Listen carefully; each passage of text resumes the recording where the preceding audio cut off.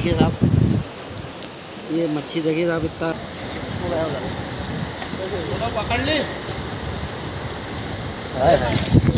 अरे छोटे तो एक बड़ा बड़ा रख